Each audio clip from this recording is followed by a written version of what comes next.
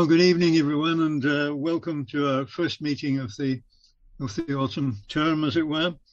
Um, this meeting is on Zoom, and uh, our next meeting in October will be by myself talking about the need for more science in philosophy. But um, we're still wondering about holding Zoom and uh, and in institution meetings. Uh, the October one will be on Zoom, and then after that, we'll be taking a, a decision depending on the circumstances. I did say in my newsletter um, to let me know what, how you feel about it, but uh, no, no one has answered. So uh, I don't know. Um, for this evening, it would be helpful if you could uh, make sure that you keep your microphone switched off uh, on mute and uh, also the camera off until the time for questions comes and they will be looked after by Andreas. Um, so this evening, it's my great pleasure to welcome Professor Bruce Hood, who has spoken to us uh, in the past, but uh, this evening looks a very interesting subject on the boundary between psychology and, and philosophy. And it's a question of why we want to possess things. Professor Hood, good evening.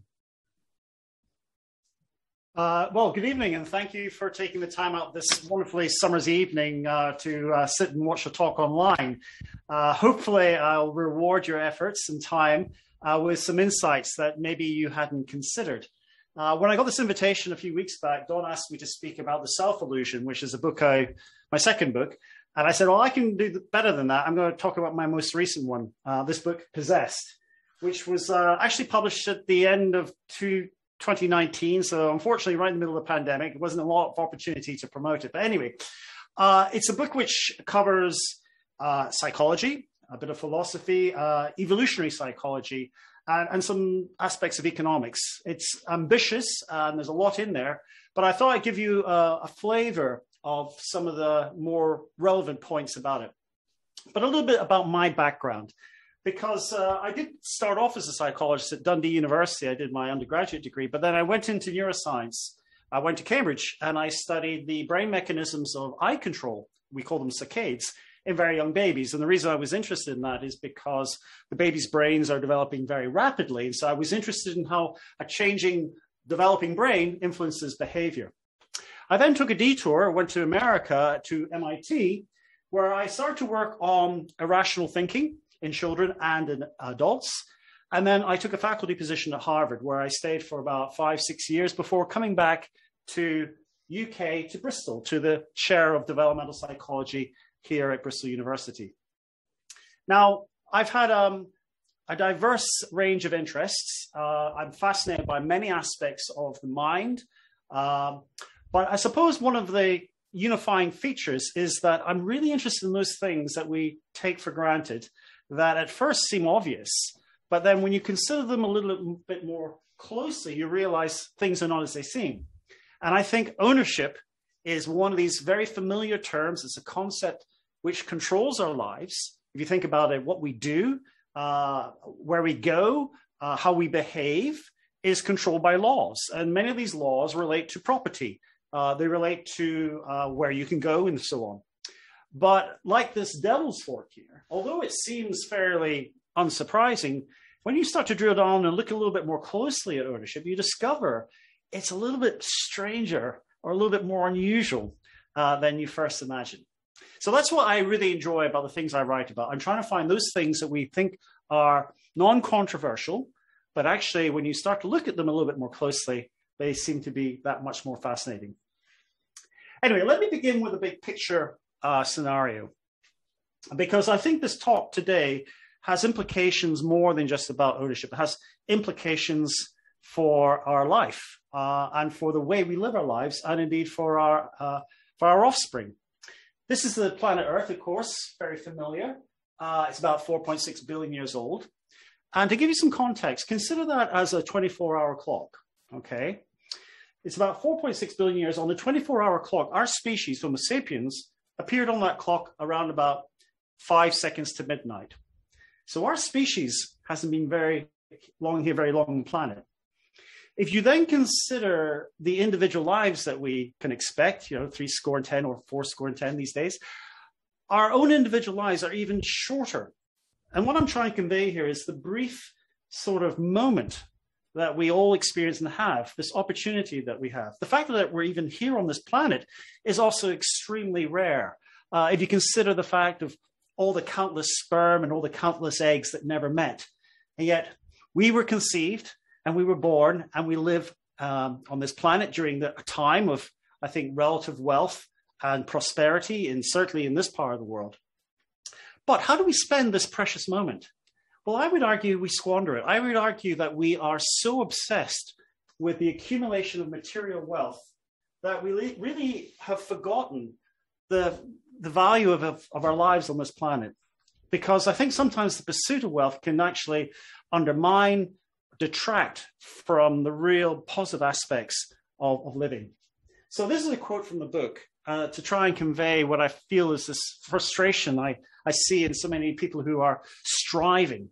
Uh, we come into the world with nothing and leave with nothing, but in between, on this brief moment on life stage, we strut and fret over possessions as if our life is uh, existence is defined by what we can own.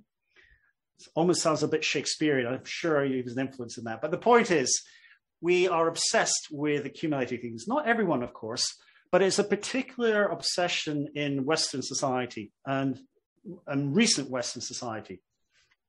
Take, for example, this photograph. Now, this is actually one of a series of photographs taken in the 1970s, so it's a little bit out of date, but it's supposed to be the itinerary or the household possessions of a typical middle class Midwestern American family. And you'll see in this photograph that there are some familiar things. There are household appliances, modern conveniences that we couldn't imagine living without. But if you actually look at a lot of what people have, a lot of it is just basically junk. And what's surprising is that actually many garages, which were really built to hold cars, now really tend to sort of house the overspill of all this detritus, all these possessions, all this stuff that we have, because we have this real problem of overconsumption, but also of recycling and letting go of it. Now that's getting better. And I think um, one of the messages I'm going to leave at the end of the day tonight is that I think we can change. And I think that the, the buds or the seeds of change are certainly taking root. But about five years ago, when I was thinking about this book, it struck me that we are just really on the wrong path because of overconsumption. Because the, the problem with climate change is not entirely down to consumerism, but it plays a very large role. So don't get me wrong, I'm not against wealth. I'm not a communist. I'm not denying that there's some real value in the pursuit of success. Um, most of us live in Bath. This is an area of comparative wealth, affluence relative to other parts of the country. I'm not chastising anyone zooming, zooming in tonight on technologies. But what I do want to draw attention to is it, it's the relentless pursuit and the overconsumption, which I think is something that we need to reassess and to think about. Because the motivation for doing that, I think, can be traced to really deep psychological issues and concerns. Moreover, my, my concern is partly driven by the fact that there is a belief that if you have more things and you're more wealthy and more successful, you will become a happier person. Now, I give you I could give you a whole nother lecture series on this. I, I, teach a course at Bristol called The Science of Happiness, and this is one of the, the the the assumptions that I challenge that it's not always the case that wealth brings happiness. And I'm sure many of you can attest to that. You will know people who are not that happy and yet they're very wealthy. So I think we could have an argument maybe in the Q&A later on about really is there something about the pursuit of wealth. But what I would like to stress is that for some of us, there's a very unhealthy relationship with our material possessions and our wealth. And that's something that I think we've got to understand why. It can be so unhealthy that people make themselves physically ill. They work themselves to the bone. You know, prior to the pandemic, some of us will remember the commuter trains uh, going into London, people spending eight hours commuting, things ridiculous uh, concessions in the relentless pursuit of, of wealth. So I think that it definitely has questionable connection or that this is what we should be pursuing. I'd like to tell you a, a slight tale to make that a little bit more obvious. So this is a, uh, the tale of uh, the Royal Charter, which is a ship which sank off the coast of North Wales in 1859, returning from the goldfields of Australia with the loss of over 600 lives. Now, what makes this tragedy all the more worse is that many of the passengers who died, who drowned, drowned because they were dragged down by the gold that they had sewn into their belts and their clothing, and they wouldn't relinquish this. They, they held on to it, and it was their folly because that ultimately ended in their deaths. Such is the emotional power and the emotional uh, attraction to wealth. It's a very difficult thing to let go. Now, you might think, oh, well, you know, I wouldn't do that. Of course, I would throw away my wealth. I wouldn't let go. But every year we hear examples of people who are physically injured because of their um, overzealous protection of their property. And I've got an example here, which uh, comes from around about, I think it was two years ago. Um, and this is a bit of footage from American TV show showing how a, a modern owner is protecting his property to the point of almost risking his life. We're here on High Street, and this is the driveway where police say the SUV was stolen. The owner wasn't going to let them get away so easily, and like you said, jumped on top of the hood. And we have video of the wild ride. This is surveillance video from a neighbor's doorbell camera. First, you can hear yelling. Then an SUV speeds by with a man on top flailing his legs and screaming. Police say he held on for more than a mile as the suspects drove towards Bridge Street. That's where he was flung off of his vehicle. A friend of the man says he's a construction worker in his 50s and lives here with his wife and daughter. He's a tough guy. He's athletic guy. He's a guy that, you know, wouldn't back down to uh, any com- conflict that he might have. Well, I don't know about you, uh, but I certainly wouldn't uh, risk my life for the value of a car, especially if it's probably a rental or it's on lease hire. But there's something very uh, acute about the violation of property. Uh, one of the most traumatic aspects of being burgled is the trauma that leaves afterwards, because people feel this is a violation of their their boundaries, and so we have this very strange relationship with the things that we own. And I think part of the reason that we find difficult to relinquish this is because it's part of our identity. I'll be telling you a little bit about that in, in a moment or two. Anyway, let's get back to the origins of owning things and possessions and, and accumulating stuff. It's actually, we're not the only animal in the world that has possessions. Um, possessions are recognized by a variety of species. Uh, if we talk about our most cl- closest uh, cousins, these are the primates, and this is a, a capuchin showing that they can um, they can make tools. Uh, a number of species make tools, but one thing which is common to all of them is that they abandon them after they've used them. They will recognize territories, they'll fight over food, they'll fight over possessions, they're competitive on all these sorts of things. But we are the only species which accumulate things and possessions over time. Every other animal, with a few exceptions, tends to just abandon things. And they certainly don't have the emotional attachment or the sentimental attachment to objects. Uh, with one exception, and I'll just tell you now that domesticated dogs are one exception to the rule. They do form emotional attachments to things. Um, but if you want to know more about that, you need to read the book. But in general, as a species, we are unique in the sense that not only do we have technologies, but other animals also have technologies, but we have concepts of ownership. See, animals have concepts of possession, which is if you've got it, you can fight for it. But ownership is a convention. Ownership is a recognition that if somebody owns something, they own that in perpetuity, even when the person isn't present. And so theft can occur when the owner isn't present. So that's why ownership is a concept which differs from possession. So we've been making things uh, for hundreds of thousands of years. Some of the earliest weapons, uh, arrows, date to around about 200,000 years BC. But artifacts, which were coveted because of their aesthetic values, they started to appear in the fossil record around about 100,000 years ago. These are some of the earliest examples. Uh, this is jewelry made from seashells. Uh, this is a piece of ochre carved um, with some geometric lines. Nobody knows exactly what it was made for. It wasn't a tool, um, by the way, these come from the uh, the Blombos caves in South Africa, and these are really early. But it was, I think, around about the the more upper Paleolithic period, which is about thirty to forty thousand years ago. Suddenly, there's an explosion in the fossil record. and you're finding all sorts of artifacts. And clearly, these were owned and valued and revered. Um, these are Venus figurines. Uh, we assume they had some fertility role, uh, some fertility purpose. But the point is that many of these things were found in graves, uh, presumably in the belief that there was an afterlife and these were the possessions, and therefore they could be taken into the next life. Now, during this period of early um, pre modern humans, I suppose you could consider ourselves as hunter gatherers. So we didn't really individually have a lot of things because there's a real problem if you're a hunter gatherer accumulating things. But that all changed in the last sort of 15,000 years ago with the advent of agriculture. Now, this uh, marks a transition in our evolution from being sort of migratory, transitory hunter gatherers to settling down to domesticate the crops, uh, to start to domesticate the animals, and to accumulate wealth. And now you have the formation of much more formalized societies.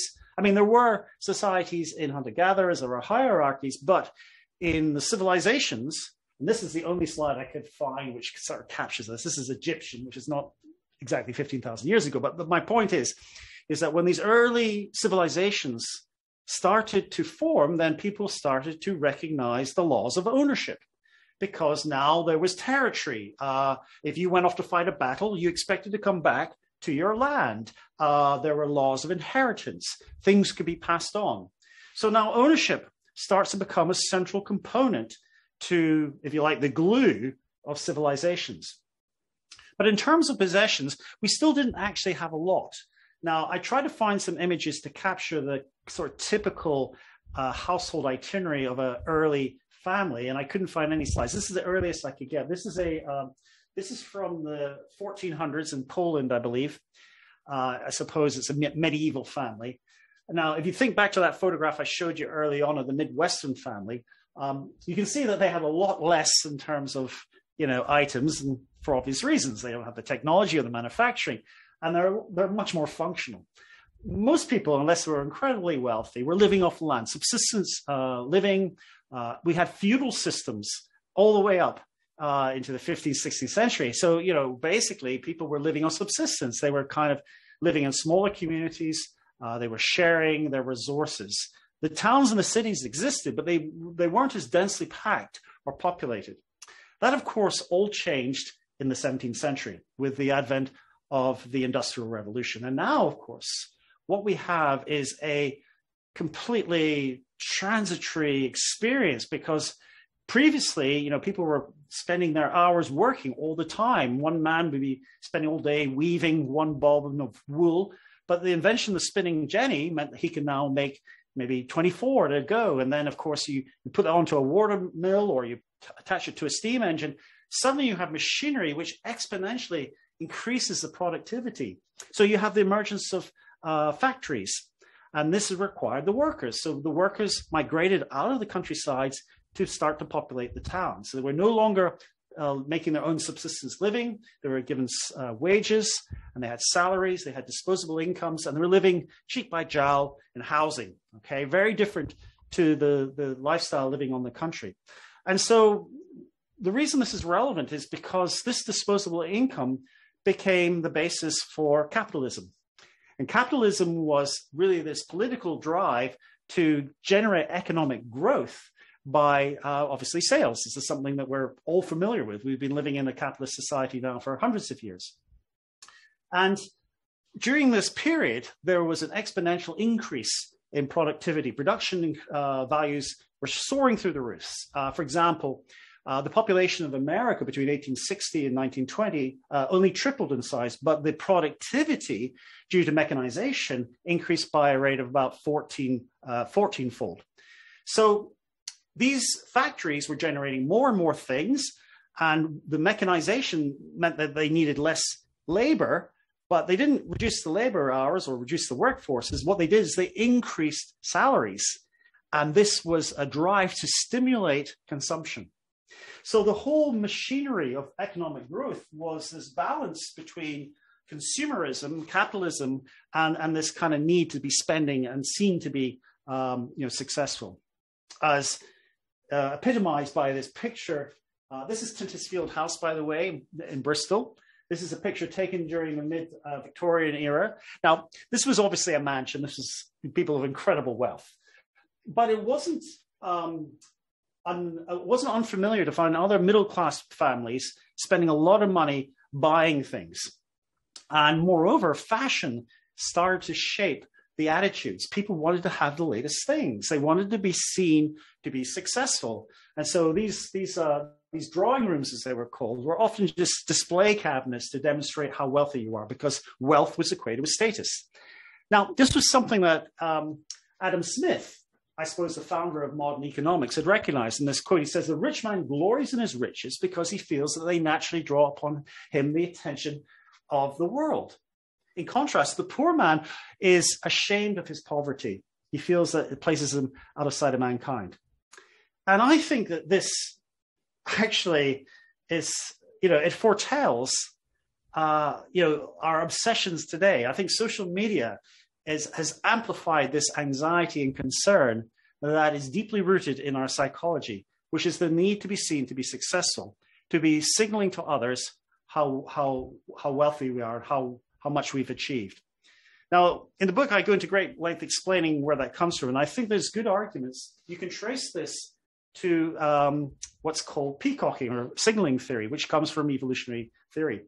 Uh, just for a slight detour, it was kind of interesting that when Darwin was uh, developing his theory of natural selection, just to, to uh, paraphrase, you know, selection or natural selection occurs, or variation occurs as, as an adaptation to the environment. Um, when he thought about the peacock tail, he wrote it made him physically sick. And the reason it made him physically sick was it ran totally counter to the theory of natural selection because it's such a ludicrous adaptation. Uh, these tails make the birds flightless. Um, they're basically the metabolism to keep them going is really very expensive. Why would birds develop such elaborate displays? Well, he got his insight when he figured out another component of, of selection, which is not natural selection, but sexual selection. Not only is there competition with the environment, but there's competition within the species because basically the imbalance between females to males. Males can produce many offspring, but females can only produce one egg. And so they have to be selective about who they mate with. And therefore, the males are competing for the, the affections of the female in order to have their offspring, their progeny. And this is why, when you look around the natural kingdom, the most colorful birds, the ones with the most ostentatious displays, or the horns, or all the adaptations, um, uh, armaments or ornaments, as Darwin called them, they're males.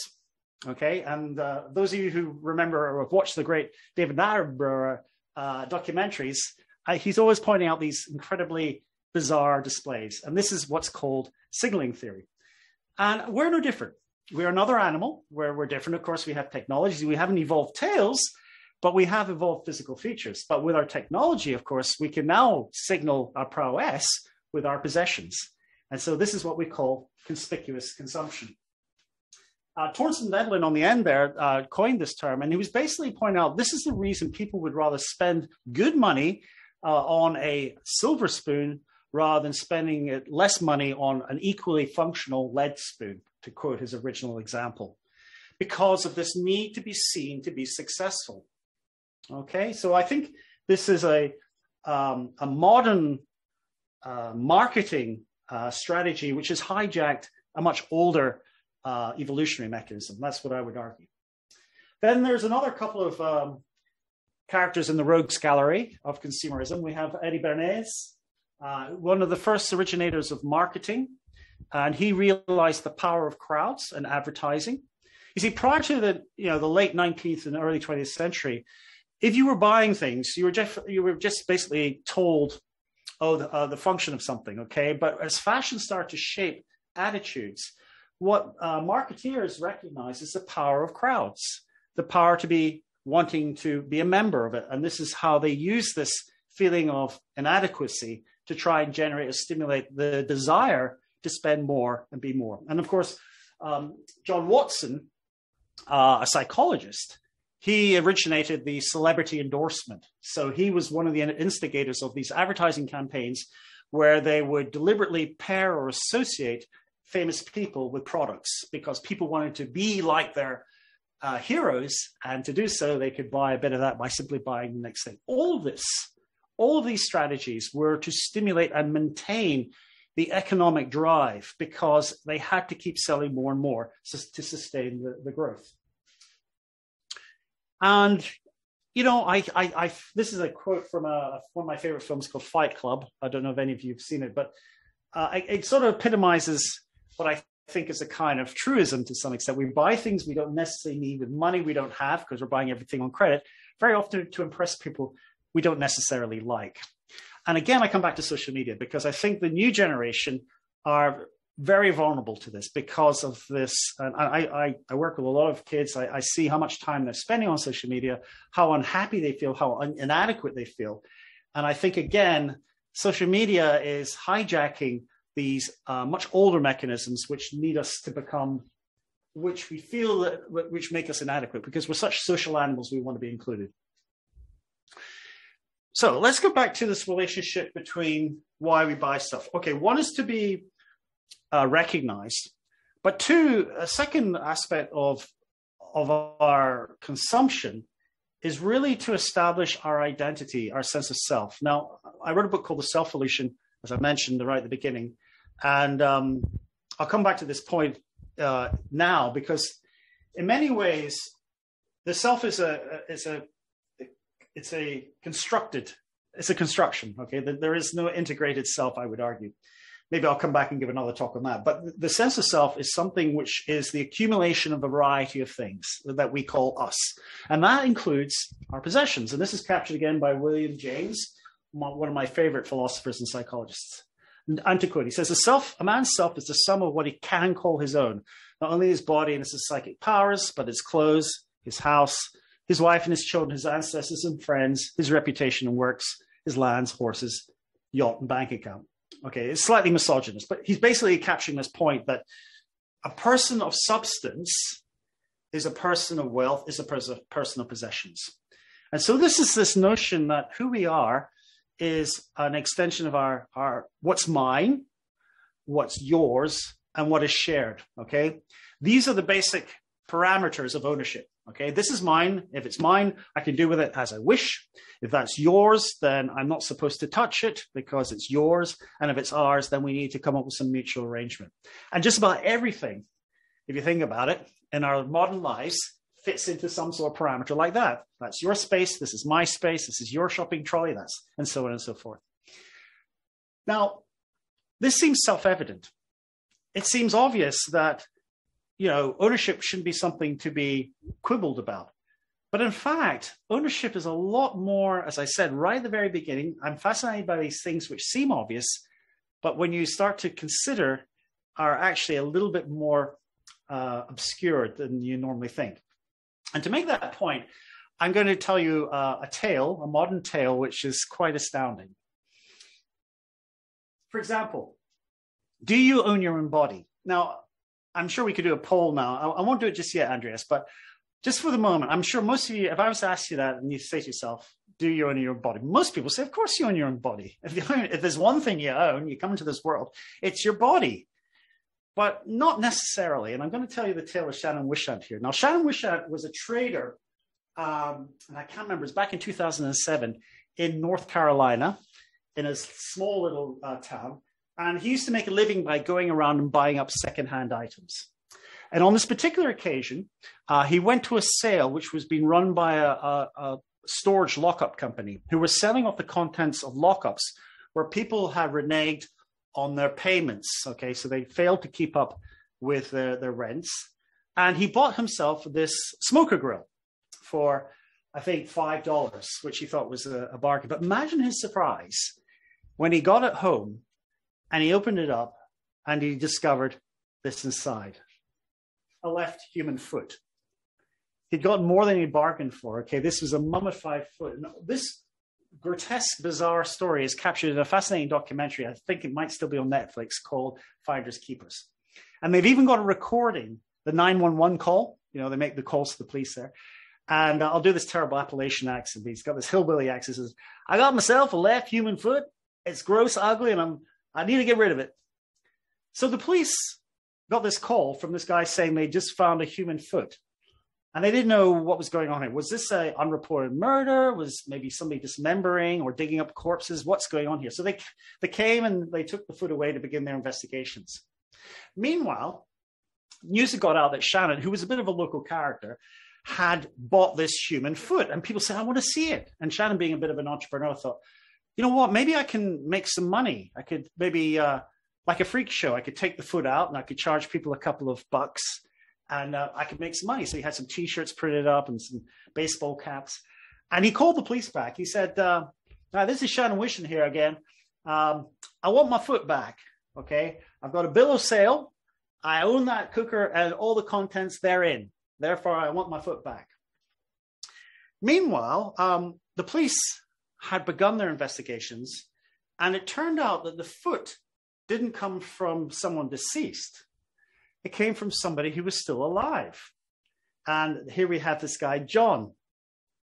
Now, John actually, uh, this is an interesting tale. He had been in a airplane pl- uh, crash um, several years earlier, about 2005. Uh, his father was wealthy; they had their own private plane.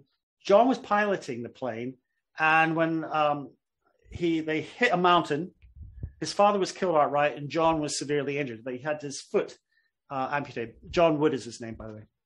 And um, for reasons which are not entirely clear, clear, to me, John Wood asked the hospital to have his foot back. They had to amputate his leg.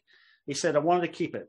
And the hospital, believe it or not, gave John Wood his foot back. So John returned to his house, and then he went about then mummifying his leg. He thought in his mind that he was responsible for the air crash, and so he wanted to keep some memorial for his father. It really does sound a bit crazy. But there again, John Wood was a bit crazy anyway. He had a drink and drugs problem. And soon his life was spiraling out of control. So he lost his job. He was an amputee. He was on disabilities. Uh, he put all the contents of his house into a locker storage. And then he moved to South Carolina. And that's how the foot and the grill ended up in the possession of of John Whisnant, uh, of uh, Shannon Whisnant. So they called him up and they said, "Is that Mister John Wood? Um, did you lose a leg?" Um, and he said, "Yeah." And they said, "Okay, would you mind collecting it?" So the documentary at this point, crew had gotten this story was a major story in the U.S. Uh, they were following this this whole thing unfolding, and this is a picture captured in a car park where Shannon is confronting John Whisnant and they're arguing about who owns the foot. And uh, Shannon was trying to get John to agree to joint custody of the foot so that he could have it for two weeks and then John could have it for two weeks. Okay, so I think I am going to do um, a, a, poll in a moment. So get ready to answer this poll. It turned out they couldn't re- uh, uh, reach an agreement on it, so they had to take it to court and uh, they had to argue about who was the legal owner of the foot. So, um, Andreas, uh, let's see if this is going to work. Oops. I seem to have, oh, there we go. There we go. I think my computers are overheating, but hopefully it won't have died on me. Oh, that'll be a shame if it's died. Just give me one moment, everybody. Don't lose. It's an interesting story. Okay, all right. Here's the poll. I want you to put on chat now who is the owner of the foot, John Wood, the amputee, or Shannon Whisnant, who bought it? And Andreas, we'll give him a moment to see if anyone is still awake and if anyone has a strong opinion on that. And if you could just give me a sense. Yes, and uh, Bruce, I'm also going to put, I've got a poll facility on Zoom, so I'm going to launch it as a poll as well. Oh, can you? Oh, that's fantastic. I don't know if you could. All right. I think you have to set that up in advance, but all right, yeah. doesn't matter. So I've done that already. So if people want to vote, they can go to polls. The people are voting now. Okay. Which is great. And uh, I shall give you all about another sort of 10, 15 seconds. And uh, we'll then have the conclusion.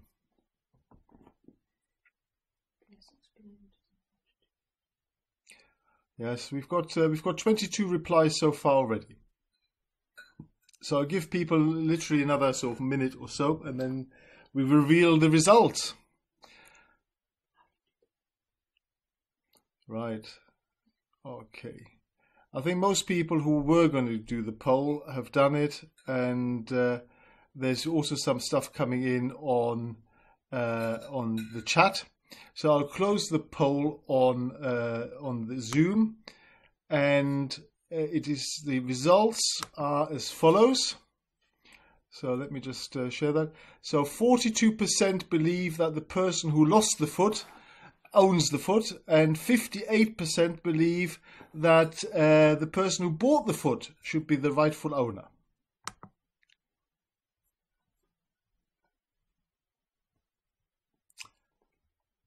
Okay.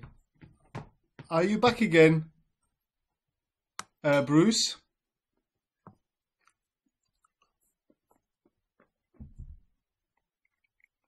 We seem to have lost Bruce.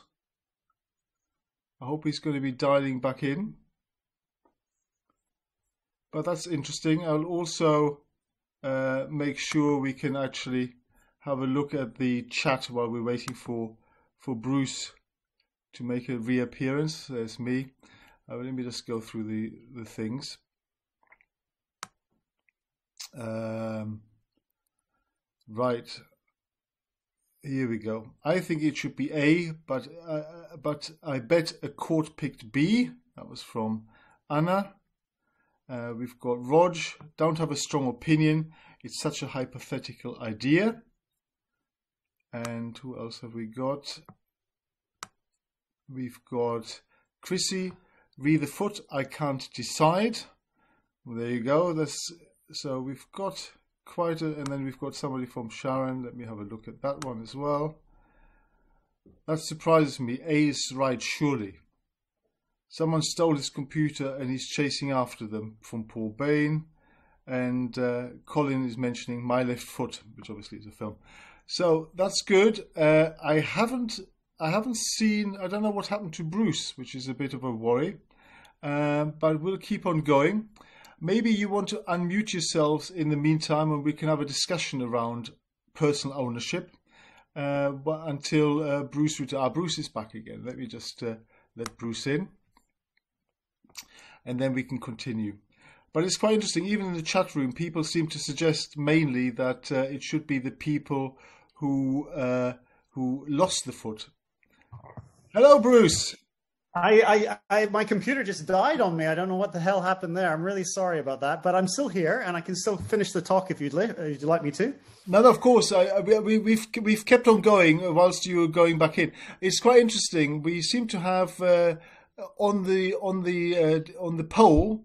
We seem to have forty-two percent agree with the fact that the person who lost the foot should own it but 58% actually agree that it should be the person who bought it, uh, which is actually which is actually quite different to what happened in the chat room.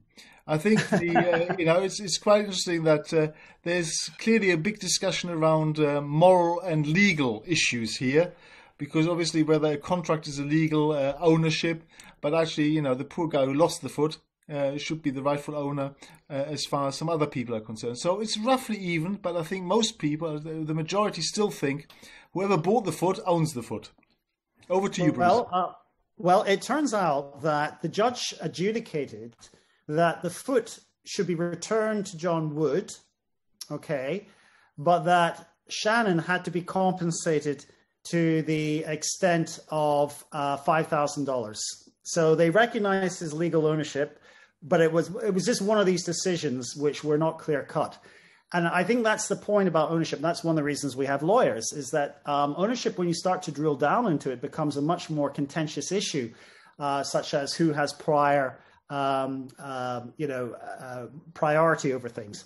So what I'm going to do now, because I'm actually in my kitchen now, I'm going to find my uh, i'm going to find the talk which was previously on icloud okay so just bear with me a moment and then i'm going to finish the talk using the conventional zoom format because literally my computer just keeled over and died i think it was just overwhelmed by the the intensity of the talk here we go i'm going to just find this one so i'm launching the talk again remotely on my laptop this time so this is real flexible multitasking here. I hope you appreciate. Um, and let's see what we got. Okay, that's the wrong talk. Let's get this one up and going. And we have, And I do, I do apologize profusely, but thank you for bearing with me. Let's get this going. Uh, right. I need to.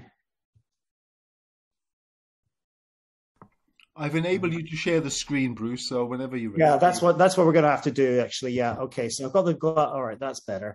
Okay, so where are we now? So, okay, that looks good, and I'm going to play that. Okay, and so if I share screen. Yeah. I would go like that. Okay, and then I go into play mode. Um, oops, days I can't see anything. Oh, there we go. Right, that should be better again. Okay, good. Yeah, we can all see that, so you're good to go. Okay, so so I think the point about the uh, Shannon Whisnant case is this is a case where it's not cut and dried, unlike the foot. Uh, ownership is a concept, and this is something that Jeremy Bentham, who ironically is cut and dried. This is the uh, this is the corpse of uh, the mummified corpse of Jeremy Bentham, which is sitting in UCL at the moment, I believe. And um, he pointed out that the problem with these concepts is that they have to be derived. All right, there's nothing in nature to tell you who owns what, and it's a metaphysical thing. There's nothing in the writing to tell you who owns anything. And so, as a developmental psychologist, this is one of the things which fascinate me. How do children learn the concepts of ownership? I mean, do we teach them explicitly? Well, to some extent, we teach them about sharing, but largely, and this is a truism of a lot of developmental psychology, is that children discover a lot of things by themselves. So, for example, they kind of know this uh, aspect about holding on to their possessions. A lot of them have attachment objects within the first couple of years of life.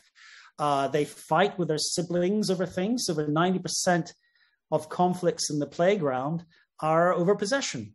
And what's really interesting in the playground behavior is that very often this is because children recognize that having control of something gives them some status. You know, very often children will fight over toys, and having won it, they'll abandon it and go after another kid's toy. So they're they're kind of trying to establish the hierarchy, the pecking order, and possessions are seen as a way of of doing that.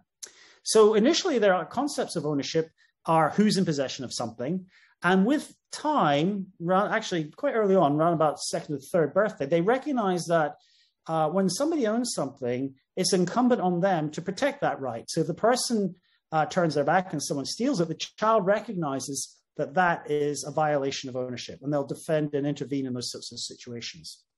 But then they have some strange notions of what, uh, what constitutes ownership.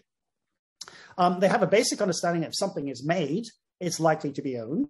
Uh, so in these studies, for example, if they're told about walking across a park and they're asked, you know, does anyone own the pine cone? They say no, but if, if there's a ring found, then you know a four or five year old will uh, re- understand that this is probably a possession that's been lost. Now, of course, we assume that all natural things are unowned as well, but that's not entirely true. Some national parks, for example, you can't remove stones. So it depends on what your knowledge is of the situation. But then they do have some peculiar ideas about ownership up until this is five, six years of age. They think, for example, that if the owner is unconscious or in a coma or is tied up, then they're not the owner. And the reason we think this is the case is because they're still relying on this sort of naive assumption that if you can control an object in your possession, then you're the legitimate owner. But if you can't control it, then you can't own it. Uh, now, of course, that's not something that uh, we would agree with as adults. One of the more interesting phenomena that I wanted to bring to your attention is, of ownership is, is the so-called endowment effect. Now, this is probably one of the most studied behavioral phenomena in behavioral economics, uh, discovered jointly by uh, Nobel Prize winners uh, Richard Thaler and Danny Kahneman. Kahneman, you may have heard about before. He's a thinking fast, thinking slow sort of guy. Now, this endowment effect is this bias to overvalue your own um, products, your own possessions. So, for example, uh, if you ask people about two coffee cups, they say, oh, yeah, they're of equal value. But as soon as one comes into possession, then people value their coffee cup as being more. And there, there are literally hundreds of studies looking at it. And what's fascinating about the endowment effect is it's not entirely um, universal. It's found pretty much across the planet, but the strength of it varies depending on the culture that you're in. So, for example, the endowment effect is less pronounced in some Eastern cultures. Uh, but there's a classic study where you can get people who are Hong Kongers who see themselves as both um, inhabiting Eastern and Western values. You can prime them to think uh, as Easterners, and the endowment effect goes down. But as soon as you prime them to think about being Westerners, the endowment effect goes up. And just to remind you, the endowment effect is a bias to overvalue your own uh, possessions. Um, and we've been studying this in children because normally it's not found in children until around about six years of age. But we discovered you can induce it in actually three year olds with a simple paradigm. So I don't know if you can make the slide out here, but here we have this is Sandra. She's from Norway, by the way. She's my graduate student, or was. She's now qualified. Um, in this study, this is with three year olds. We got them to put values on various sorts of things. Now, some of these things were desirable toys, and some of them were sort of bits of rubbish. And they put it on a sort of scale of smiley faces. The big face means they liked it more, and the upset face means they didn't like it. Because children at three don't understand the concept of money, you can't get them to put a price on something, but they can show you the relative worth of things. And critically, what we did was we gave them two identical spinning tops, okay, and we asked them to put them on the scale, and most children put them on the same face. In other words, they understood the principle of equivalence, okay. Having done that, we then gave them one of the spinning tops. He said, uh, "This is yours, Julie," and this is Sandra said, "This is mine." And then we did the induction, where we got them to think about either themselves uh, a good friend or a neutral scene. The way we did this, we said, okay, make a picture of yourself and tell me about what you like. Or the children in the group talk about their friends, said, make a picture of your friend, tell us about your friend, tell us what they like. And then the third group just had to do a country scene of a farm, animals, and so on. Then the really important point the test was we brought the objects back in again and we asked them to put a value on them. And what we found was that the children who had been thinking about themselves and talking about themselves they valued their spinning top as more valuable than the other person's spinning top. Okay. And we didn't find that effect in the other groups. So this suggests that, like I mentioned earlier on, that our possessions are extensions of ourself. And when we're really self centered and thinking about our things, then we tend to overvalue them. And that's why it's less pronounced in cultures where that sense of self isn't so individualistic. And this is why you don't find it in hunter gatherer tribes the, there's very little endowment effect in the individuals. And one of the reasons is, is they don't have a lot of personal possessions. In fact, they have a principle of sharing called demand sharing that if you're not using it, then I'm entitled to help myself to it because hunter gatherers can't carry lots of individual things. It's just inconsistent with their lifestyles. Now, hunter gatherers are fast disappearing off the planet, and I'm pretty sure that they're now exposed to many Western moderns. But my point is, it's not entirely in our DNA, if you like. I think this is a, a behavior which reflects our sense of uh, uh, individualism as opposed to our sense of uh, group membership. So this brings me to the final slides. And this is uh, Csikszentmihalyi. This is a psychologist. You may not recognize the name, but he's the psychologist behind the concept of flow. He's a really brilliant thinker. And I, I particularly like this quote from him where he's really summing up again what Adam Smith had said earlier on. And I think it brings this together that, you know, there is this uh, relationship we have with our stuff and our sense of achievement. And he says a good a person who owns a nice home, a new car, good furniture, the latest appliances is recognized by others as having passed the test of personhood in our society. The objects we possess and consume are wanted because they tell us things about ourselves that we need to hear in order to keep ourselves from falling apart. In other words, it provides us with a roadmap. It provides us with a set of uh, barometers by which we can judge whether or not we're achieving what's expected of us.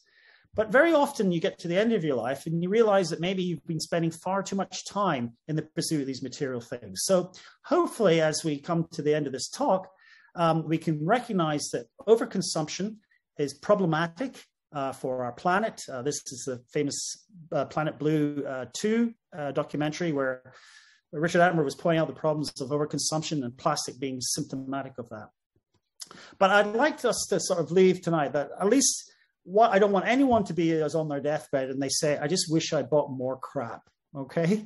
So I'll leave that there and uh, I'll take some questions now. And I, I apologize for the lighting and uh, the, the lack of uh, the break in the middle there. But thankfully, um, hopefully some of you stayed on.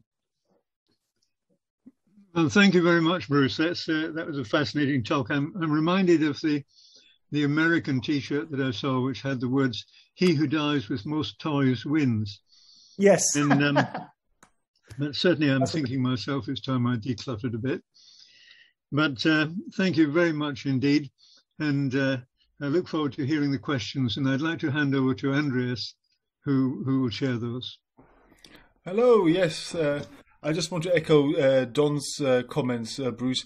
Excellent presentation, really, really interesting, uh, especially around the, the difference between wants and needs. And uh, uh, we've I've got some questions in in the chat room, which we can get to.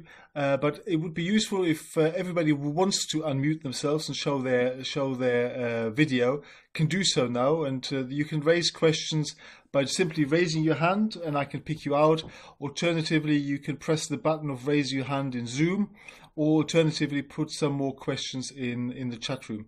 So is there anybody who wants to actually, before we go into the chat room, it's always nice to do this face to face best we can on Zoom. Uh, is anybody got a question currently uh, in the audience before we go to the chat room? Penelope, you, you, and, and, oh, and there's Elizabeth. Betty, do you have a question? Yes, I was going to ask him if he had uh, tried to correlate happiness and possessions. That's a very interesting question. and it's actually, uh, there's a whole field of positive psychology where this issue has been revisited a number of times. And economists are particularly interested in this. Now, to be to cut to the chase, the, the issue is contentious. And it depends who you ask, of course. Um, at the micro level, most people believe that there is a positive relationship between wealth and happiness, and that is true. However, that is only true up to a certain point, because once you reach a certain level of wealth, then there's no additional benefit for accumulated um, uh, wealth in terms of increased happiness. It, it, seems to level off. Now, there are people who criticize that.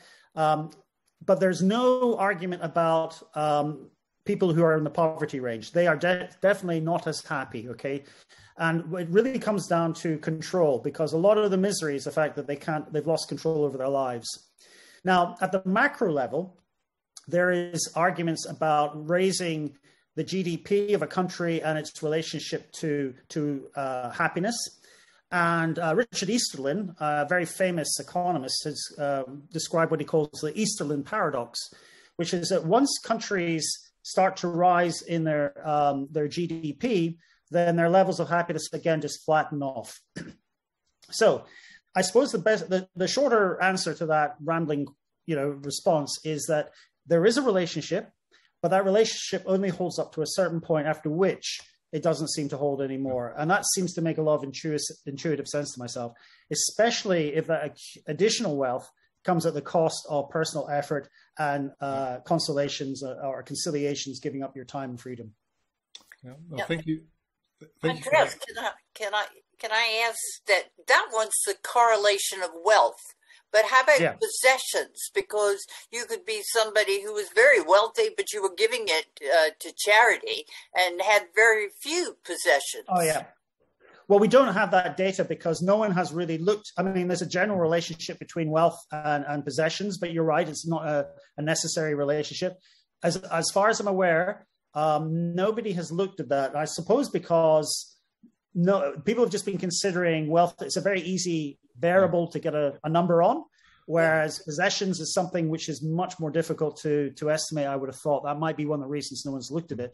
But uh, I think you're right, and I, I, I, you know, I certainly don't want to paint everyone the same. Um, people can have incredible wealth in giving it away, and uh, you know, I, I, think of people like Bill Gates and a lot of people who have promised to give away the majority of their wealth. So I, I mean, that's a whole other set of issues there. Um, but I think that you know, we worry about the planet, we worry what we can do, and we're looking for technologies to change things. But I think all of us as consumers can reassess the extent to which we need to buy things that we don't really need, and, and often just ask our question, why do we do that? Yeah, and, and to, absolutely. Thank you, Bruce. And also to you, Betty, you might be interested in looking up Effective Altruism by Peter Singer who actually explores oh. the whole idea of altruism and and and uh, uh, its behavior. So that's helpful. Anybody else wants to ask a question in the on on here before we go to the chat room? Okay. Uh, I'll go to the chat room for the next question. There's a question here about to, uh, what is the balance between nature and nurture in terms of wants and needs? And I think the way you described that earlier, Bruce, was that you seem to be suggesting it's, it's much more nurture than nature, but uh, maybe I was misinterpreting that.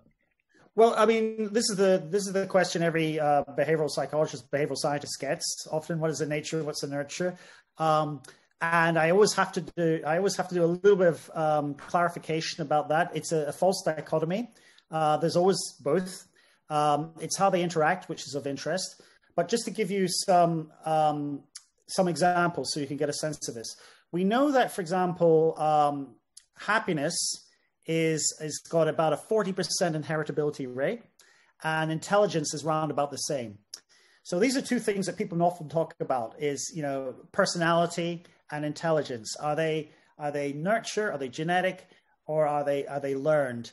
And I would suggest that looking at the relationship between happiness and possessions and, and, so on is probably going to be in a similar boundary because I feel that satisfactions and, and perceptions of achievement are very much tied to our sense of happiness. But this issue of nature and nurture fails to um, convey, I think, because it's always set up as an either or thing, that there's going to be a lot of individual variation. Okay. And what you see when you hear about 50% for intelligence and 40% for happiness, that's the average. Um, that's the average variance. And unfortunately, that's the only thing that behavioral geneticists can talk about. They can never talk about anything at an individual level unless it's something with an identifiable gene. Uh, such as you know one, of the recognized uh, deformity of genes, but things which are multi multi gene um, phenomena like intelligence. There's no single gene for that. And there's no single gene for happiness. Unfortunately, all we can do is just average across populations and work out roughly what that correlation is and it's generally never more than about 50% for anything really interesting okay so I, I, there's a there's a there's an old joke that um, when you ask a, professor whether his children are smart uh, whether it's nature or nurture they always say nature. And when they say are your students smart? they always say nurture. So i think that just reflects this kind of dichotomy of thinking. Yeah very good. And i've got another question here. Uh, oh paul. Go, go on paul. You go go first. Oh, hi paul. Oh, hi. Hi. Thanks, Bruce. I, I was thinking about this and um, thinking that actually possessions fall into different categories, which you touched on on the talk. So mm. when I look around me, I mean, some of the possessions I have have sentimental value because they oh, remind yeah. me of memories or people I know.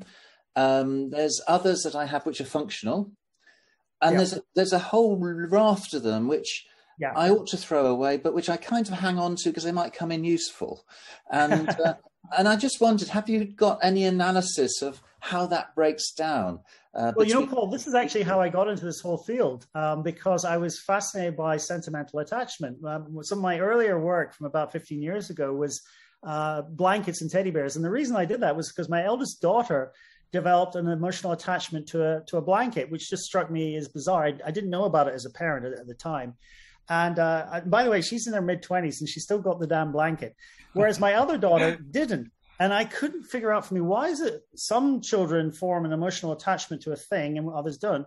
And there's a very interesting story there. It turns out that there's uh, some early experiences uh, which might explain that. I think there are personality differences as well. But you've highlighted a really important point, and I saw I just briefly touched upon it. I do more in the book, but sentimental attachment is a particular form of ownership which um, satisfies a deep emotional need. Okay, and it taps into some very deep philosophical concepts about authenticity. Uh, for example, this is why we value an original piece of work more than an identical duplicate. Even though you, you could have two works by Gauguin. Uh, sorry about oh, that. sorry.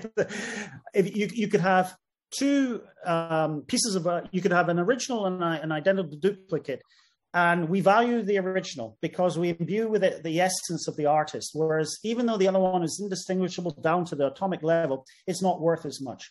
So what we're doing with sentimental values is we're satisfying a deep emotional connection with the previous owner or the concept that we're trying to connect with. And that's why memorabilia uh, typically people collect that because it, it aligns with a period in their time when they were happy. Okay, so that's why all the rock and roll memorabilia is starting to appear because most of us have reached an age where that was a formative part of our years. So there are those sorts of things which are uh, satisfying that aspect of self identity.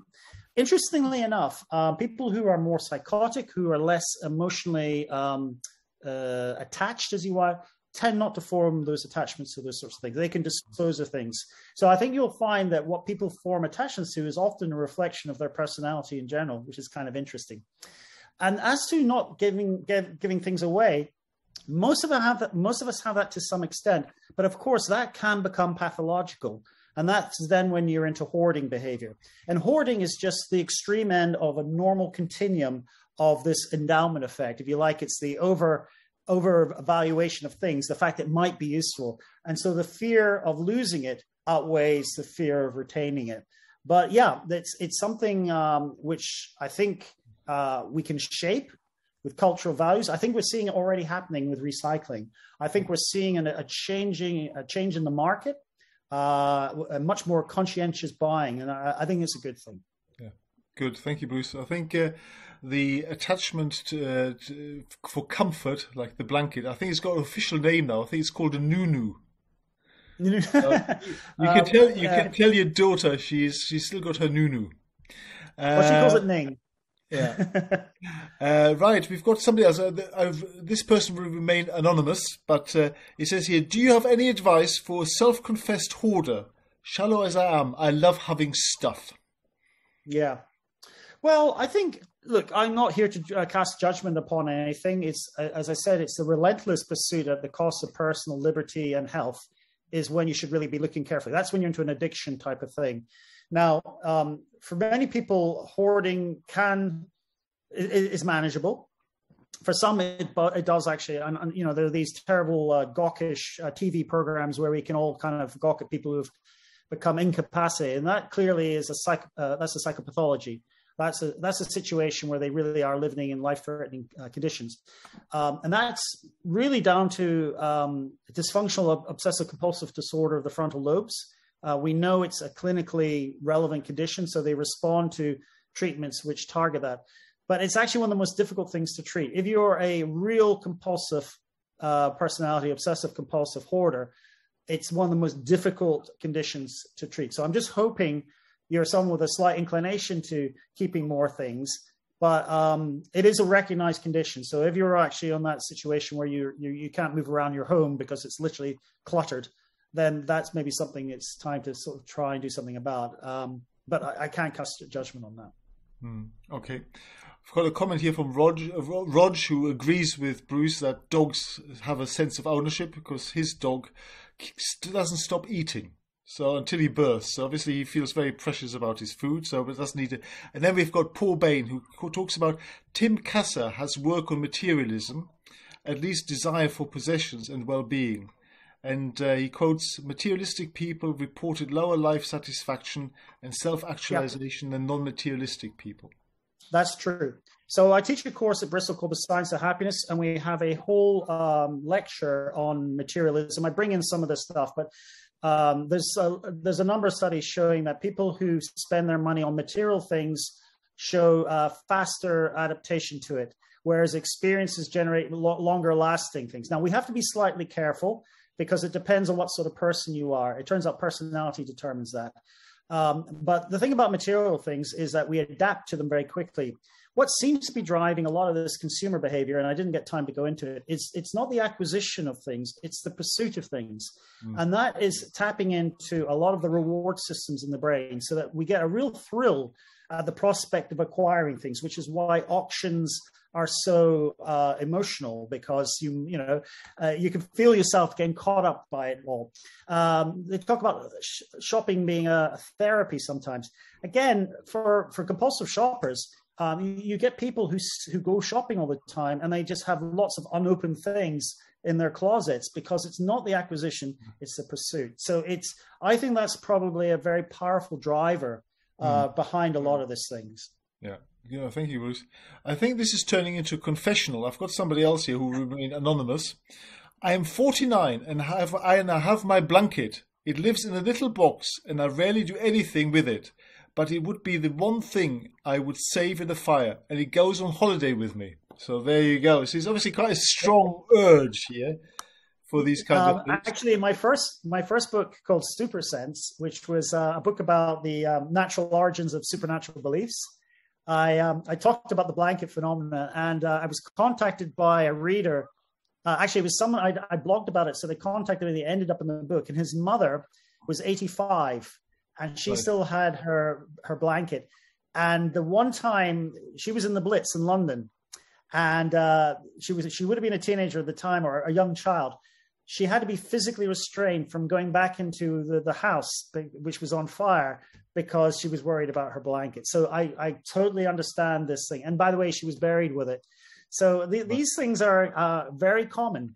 Um, but I think they manifest in collecting behavior as well, because we know yeah. there's a link between sentimental attachment and people who also start to um, form or value authentic objects. Right. No, thank you. There's another comment from Paul. Richins and colleagues' work on materialism distinguished three components as an indicator of success centrality, priority given to material goods over other things, and happiness, joy gained from uh, from own, owning and using. Let me just scroll that down a bit more. But empirically, the distinctions don't always hold up. Richins and Dawson, 1992, Consumer Values Orientation for Materialism and its Measurement, Scale, Development, Validation, Journal of Customer Research. So he's basically saying there's, there's plenty of research here that talks about correlations. It's kind of interesting because um, there's a whole field of consumer research and there's a whole field of behavioral economics and there's a whole field of positive psychology, and they kind of overlap on this issue about what's going on here.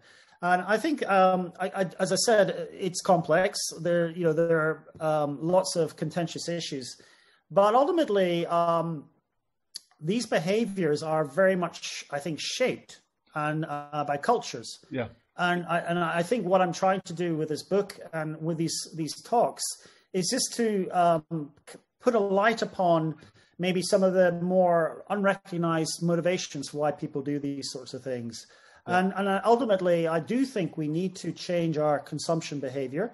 I'm not suggesting we become communists and disavow everything, but I do think, given the choice, do we really need to renew things for the latest model? Um, because yeah. marketeers, they know our weaknesses uh, and the people on clickbait who, who, on social media, they know how to draw us in by social comparison. And so we just yeah. need to be aware of what motivates us to make that next purchase. Absolutely. Okay, well, we're going from the confessional to politics now. The triangle of mine, yours, and shared is a big idea politically. My house, mm. our town, our NHS. Where does privatization fit in? well, I wish I was in a position of power to make a kind of judgment on that. Um, privatization, I, I, I, think I'd be definitely stepping beyond my expertise bounds there, uh, and I, will leave it for you guys to to to discuss that because I, I mean I have my own personal views. Uh, I, I tend more to the left, um, but I don't think I'm knowledgeable enough to say anything of any informed opinion which is greater than anyone else's expertise out there. That's that's very diplomatic. Bruce. So yeah, that's fine. Uh, the another question is uh, that's come in is relating about the illusion of self, and mm. do we really construct ourselves through our possessions? Uh, partly, yes. I believe so. I think the uh, and, and, this is really another talk. uh, the self it, it, depends on what you define the self as. I, I, think that's part of the problem that people have with the the title of that book. First of all, the word illusion um, suggests that there's nothing. I, am not suggesting that. An illusion technically is uh, an experience which is not what it seems. Okay, that's what illusions are. And the experience I'm challenging that I think many people have is that their self is an integrated, coherent individual with free will who is rationally making choices and in control. And I would suggest that on everything I just said there, you could challenge with a whole lot of um, uh, neuropsych uh, and uh, physiological and, and sheer logic that um, there can't be a integrated individual. And all the evidence, in my opinion, suggests that we are constructed. We're like a narrative. And the flow and by the way self is it can be the sense of self in the, the here and now the flow of consciousness that we're all experiencing right now. It can also be an autobi- autobiographical sense of the self as yeah. who am i? And you might say well aren't they the same thing? Well no. If you've ever met anybody or know anybody who has uh, dementia you can see a fragmentation between their sense of being in the here and now and their previous sense of identity. Yeah. And so we know that identity can fragment. Uh, it, does, it can be disease, drugs, or damage to the brain. The Yeah. sense of self can be broken up. So if it can be deconstructed like a clock, I suppose, then my my belief is that we are constructed over a lifetime through developmental processes and, and partly genetic processes as well. So that's what I mean by the self illusion. That it's it's a very convenient way of thinking, but it's actually not probably the reality. Yeah, so I mean, yeah, no, that's fine. So, are you saying effectively that we are uh, an emerging process of Yes. becoming individuals rather than a static individual at any one point in time? Yes. So the way I think about it, if you think about the internal workings of the mind, and I think most people agree that the brain is composed of a multitude of functions and abilities and, and memories and whatever. And if you think about the multitude of information in the external world that we have to navigate, people, places, information, whatever, we have a line of consciousness which tends to be serial. Okay. We don't, we, we feel that we're processing everything at once, but actually we're only attending to one thing at a time. And so I think that the sense of self, that flow of consciousness, is the interface between parallel content basis. Yeah. So you have a lot of parallel processes. Most of them are unconscious. We don't. We're not even aware of our face processing, our language processing, or all these things that we know from experimental psychology are actually discrete processes. And we're only barely aware of the complexity of the external world. And yet we seem to navigate that in a very coherent way. And that's because the self is this constructed serial interface between parallel worlds. Okay, no, that's great. Uh, we still got put one more political question that's just come in. So, uh, but I think it's it's slightly less uh, contentious, which is uh, probably more research based. And that's from Kevin. Do people on the left demonstrate a different relationship to their possessions than people on the right? I don't know the answer to that. I, I would expect my hunch is yes. Um, but I, I don't know. I'm, I would be guessing yes, and, and I'm basing that only on the likelihood of um, capitalist societies, which tend to be uh, much more focused on material possessions relative to more socialist societies, where they tend to be a little bit more, you know, interdependent. So I, I would think that's quite likely.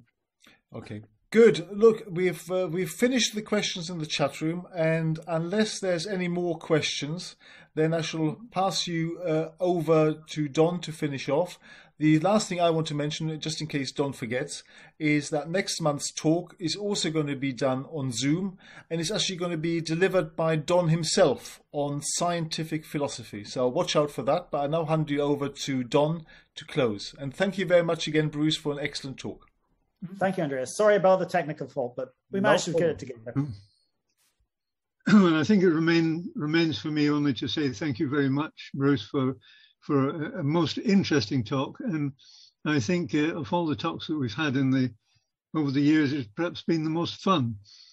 But but um, it's certainly it's, the um, most. Uh, certainly the most. certainly uh, thought provoking. I think we'll all be going to to to declutter our homes after this. Okay. So uh, thank, you very much. indeed. Okay. Bye bye, everyone. Have a good. Stay safe. Bye bye, everyone.